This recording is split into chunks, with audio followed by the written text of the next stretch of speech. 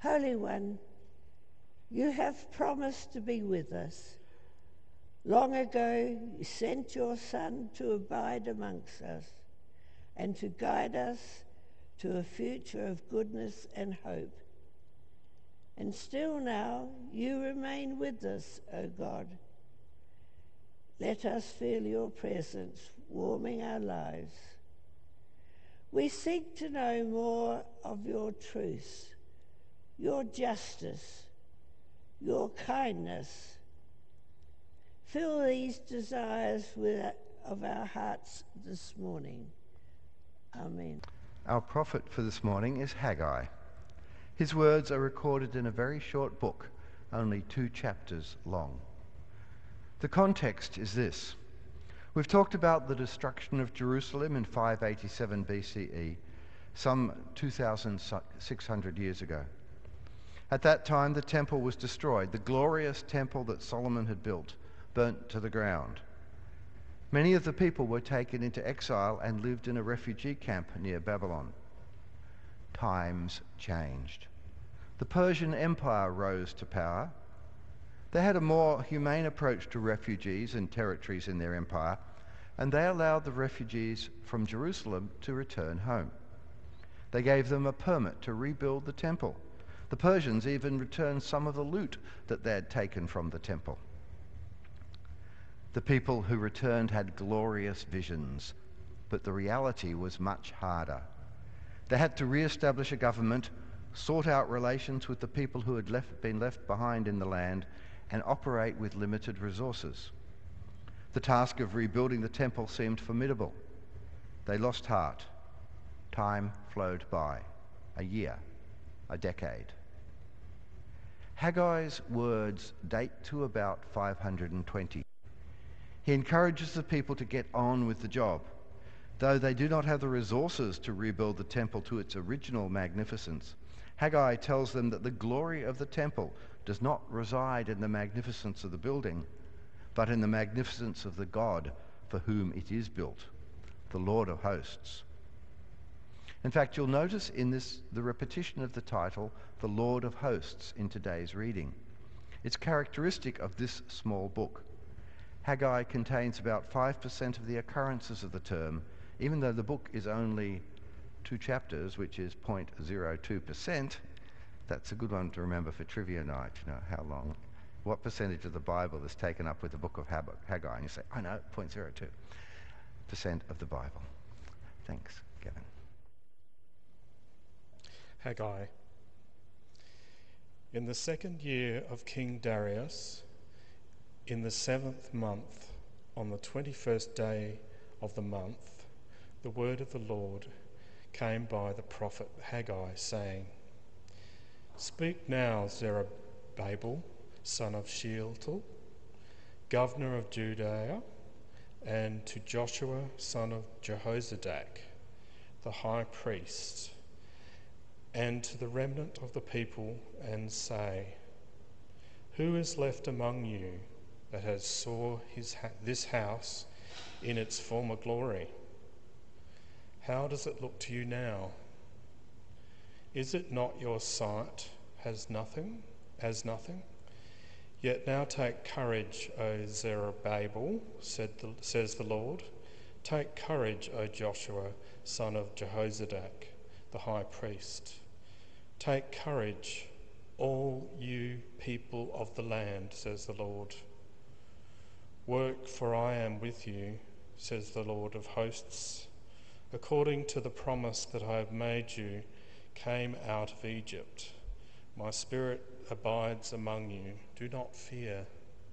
For thus says the Lord of hosts Once again, in a little while, I will shake the heavens and the earth and the sea and the dry land, and I will shake the nations so the treasure of all nations shall come, and I will fill this house with splendor, says the Lord of hosts. The silver is mine, the gold is mine, says the Lord of hosts. The latter splendor of this house shall be greater than the former, says the Lord of hosts. And in this place I will give prosperity, says the Lord of hosts. If you read all the rest of the book of Haggai, you'll find that Haggai believed that building the temple would ensure prosperity, that somehow, magically, a house for God would create good harvests and bring riches into the country, ensuring success. Do you believe that? I don't. It's not the temple, or in our case, the church building, that automatically brings success. The building does not count for most in God's eyes. It is the community that is built around the building and what that community does that counts more. However, I wonder if Haggai was onto something. The situation after the return was difficult. The people struggled to re-establish the society. They were disheartened. Each looked to their own interests. Haggai encouraged them to look to God. That was their first step in recovery. To look to the God of the Exodus, whose promise to the people of Moses' time did not fail, and whose spirit stayed with them. To look to God. To give God a place in their rebuilt city. To turn attention away from themselves alone and their own struggles. And once they had looked to God, they could look to others. Haggai was not just concerned about the construction of a building. The building, the temple, was symbolic of something much bigger. Haggai was building a community, a community that focused first on God. He wanted to move the people from each looking only at themselves to looking at God and then to looking at others. Why have a temple at all if it is not a place to worship God and from there to serve others? to love God first and then to love others. We're going to move to our reading from Luke. It's a story about a conversation between Jesus and some Sadducees. So let me give you a little background to the Sadducees. Judaism at the time of Jesus had various religious factions. One group was the Sadducees. Their faith was very traditional. They accepted the first five books of the Bible, the Torah, which it believed, or which they believed, had been written by Moses. They did not accept any of the newfangled ideas that had crept into the religion over the course of centuries, for instance, from Persian influences. And one, idea, one of these ideas was that of resurrection. The early faith of Israel did not have an afterlife to speak of. There was a place called Sheol, but it was a place of non existence and non feeling. If life is feeling, then death, non life in Sheol was not feeling anything. Resurrection, the Sadducees argued, was an important thing, so much so that if it were true, then surely God would have told Moses about it. But the books of Moses do not mention resurrection, so the Sadducees dismissed it. Sociologically, the Sadducees were a very powerful force in society. They were the rich elite, the landed, with landed wealth and hereditary status in the priestly class. They controlled the temple and were well placed in government. For such a group, it was important that the family line continue. This was the responsibility of the family. After the temple was destroyed by the Romans in 70 AD, that's about 600 years ago, after Haggai, the Sadducees vanished from the scene. The future of the religion belonged to other, the other major party, the Pharisees, and among them, the early Christians. Lack of belief and resurrection in the resurrection and the need to continue the family line lie behind what the Sadducees ask Jesus about. Thanks.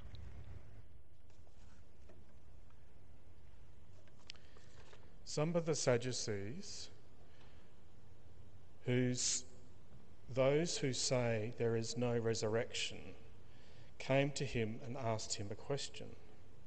Teacher, Moses wrote for us that if man's brother dies, leaving a wife but no children, the man shall marry the widow and raise up the children for his brother. Now there are seven brothers. The first married and died childless. The second and the third married her, and in so the same way all seven died childless. Finally, the woman also died. In the resurrection, therefore, whose wife will the woman be? For the seven had married her.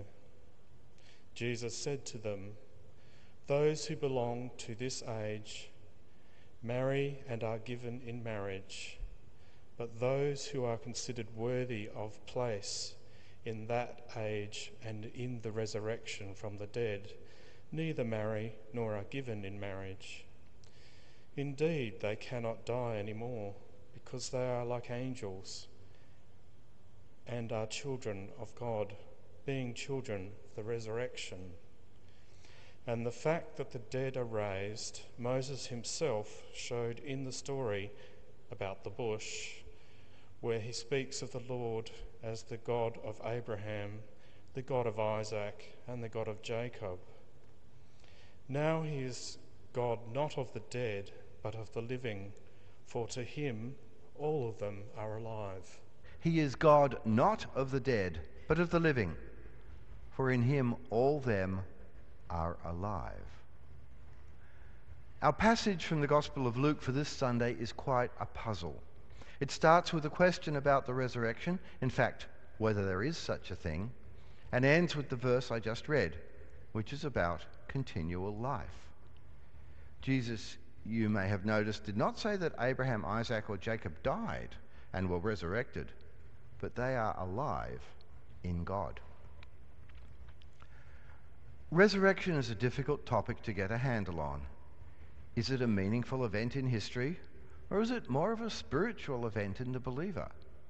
The arguments are complex, not just simple assertions for or against a literal reading of the Bible, but careful explorations of the nuances of the concept of resurrection. I know with conversation, from conversations with many of you that you've wrestled with the concept of resurrection, as have I. Clearly, as our reading today shows, the idea has created problems for quite a while, from even before the death of Jesus. The Sadducees, for one thing, did not think the resurrection made sense and engaged Jesus on this topic. I've mentioned before that the contributors to our Bible delighted in exaggeration. Our story is yet another example of that. One woman married successively to seven brothers one after another, they died before she had children, before she could have children with them. I wonder how the woman might have felt being handed on like a used car in vain, in the vain attempt to preserve the family line. I also wonder why the siblings did not cease earlier. You would have thought that by number three or four, they would have figured out that the situation was hopeless and tried some other means of reproductive therapy. The story exaggerates to make a point. Today, with our modern practicality, we would probably simply pitch it in terms of a person, a widow or a widower, who had two happy marriages and then ask how that person would choose a partner in heaven. And we would add another questions or other questions to this one about the nature of the resurrected person? What about disability or sickness? What would be the age of the one resurrected? Would a baby be resurrected a baby and an old person at the age of their death? Incidentally, this has occurred in thought before, and Augustine answered that question by saying that in the resurrection everyone would be 33 because that was the age of Jesus at his resurrection. So if um, somebody asks you how old you are and you you really don't want to say, don't do the 28 bit, just say 33. Because that's the age you will be according to St. Augustine. The questions add up to make resurrection seem at best a mystery and at worst nonsensical. It would be really great to have answers to such things, but in my experience, convincing answers are lacking. We have little or no experience of what happens after death. At best, some honest people report experiences of a presence, identifiable as another person or God. Only charlatans go into further details. So the Sadducees have a good point. How does Jesus answer them? The first thing to note is that he dismisses the question, in, quite, in fact, quite abruptly. He doesn't talk about the nature of the resurrection body. He simply states that marriage is something that holds this side of death and not the other. And you can almost hear the Pharisees in the crowd, who are the opponents of the Sadducees, applauding at that point. For the Sadducees, marriage and the production of children were vitally important because they were embedded in a hereditary system and started out with the assumption that there was no resurrection. So without stable, controlled marriage with offspring, a person had no future. Without a resurrection, who would remember them, if not the generations in this world? Jesus then gives a simple reply. God remembers. He phrases it in terms of Moses and the Torah, things that the Sadducees would accept.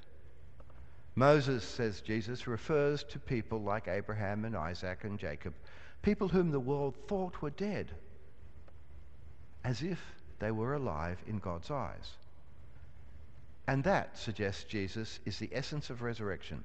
Not worrying about husbands and wives, but being alive in God. He is not God of the dead, but of the living. In God, all are alive. Jesus doesn't give any further information of the sort we would like about the nature of this resurrected life. Whether we spend our lives on clouds with harps, or whether, as some theologians suggest, we live in on in the memory of God and in the ripples and the eddies our life on earth has created. Whether there is a judgment for the wicked with a hell, nothing is said about these things. The words of Jesus show us something of the nature of God. God is, in essence, life. God is completely alive, alive so much that in God there is no trace of death. An event which we might term the death of Abraham is not an event at all for God. The essence of God is life for all people. By contrast, we tend to equate being alive with not being dead. In God, there is only the first of these. We see death as a barrier. It seems to be part of our nature to construct walls and barriers that include some and exclude others. The ultimate barrier in our perception is death, a thing that happens, that it appears to us, separates us completely from another person in ways that race or gender or bad breath do not. In God's eyes, this death is nothing. It's not a barrier in the same way as those other walls we build are not barriers to God's love. We are currently alive and we will continue to be alive after this thing we call death because we will be alive in God. In fact, one might argue that we are already alive in God. So our life continues taking different shapes at different times. Resurrection is not so much an event, but a state, a state of living in God, who is life itself. God is life. With this in mind, let's take another quick look at the words from the prophet Haggai. The people had returned from exile, but conditions were hard harvests poor, and the rebuilding program slow. They felt a lack of life and became despondent. Haggai, in response, turns their attention to the temple, not so much as a building, but as a place for the presence of God, and so the presence of life. He recognizes that the new temple would not look like the old, but that's not the point. A focus on the temple implies a focus on God, which in turn implies a focus on life. Haggai issues a call to life, certainly a life different from before, but life in God nevertheless. God is life. What might this mean for us? If the essence of God is life and we have faith in God, then we have faith in the power of life. We are oriented to life new life, and life and living as stewards of life. However, we live in a context that is beset by stories that deplete life or deny life. The structures of our society are breaking down and undermining adequate security, adequate health care, housing, and so on. The planet is on an ecological slide to extinction. The church as an institution is failing. Christianity is becoming more marginalized. Our uniting church congregations are aging and growing smaller. How should we respond? Do we choose to follow the path of the Sadducees? They focused on marriage purely as a response to death, as a way of ensuring offspring, and not as something that builds community and increases life. Or do we trust in God as a God of life and live into the future with hope, even though we cannot be sure what that future might look like? Jesus you recall, in the end, redirected the question which the Sadducees had asked about some comical heavenly existence to bring the focus back on the present. So, to the question of resurrection, of the denial of a future for us at Scots, should be a question about how to live now in the present. That's an open question. And we here at Scots answer it in a different way, in some way, each time we consider a major decision or even some minor ones. So as I thought about an answer to that question, I came up with two of our answers that we've made. Our society, in fact any society, tends to evaluate people and to write them, some of them off as less important if you like, as having less life than others. It would not be unreasonable to say that many Sadducees regarded others as somehow inferior. Similar evaluations hold in our society. The political rhetoric may express concern for certain groups. The political and economic decisions do not match this rhetoric. For instance, homeless people are frequently evaluated as somehow inferior. At Scots, we provide accommodation for the big issue just through that door, a magazine which is sold by homeless people and helps them get income as well as self-esteem. The people who work at the big issue are concerned about the quality of life for these people. On another front, Scots has taken a role in the Uniting Church in the area of care for people with mental health issues, specifically with regard to suicide. The area is far too big for one organisation to manage, but we do a little bit where we can. We care for people who society tends to ignore or write off. Our concerns, or our concern, reflects God's concern with life and we carry out that concern, we implement that concern as we are able when it comes into our path, into our view. God is a God of life. God is a God of the living. Faith in God is faith in the power of life. And this faith is reflected in our actions. We should be ready to give our lives, our energies for others. Will we run out of life in the process? No way. The source of our life is God, unmeasurable, inexhaustible, inexhaustible, infinite life itself. In God we are truly alive. In God all are truly alive.